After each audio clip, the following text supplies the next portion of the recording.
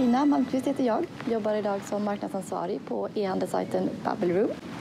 Eh, jag anmälde mig för att få en bredare förståelse för hur det digitala medielandskapet fungerar. Delarna kring just eh, konverteringsoptimering har gett mig väldigt många handfasta tips och råd för att verkligen optimera affären i det dagliga.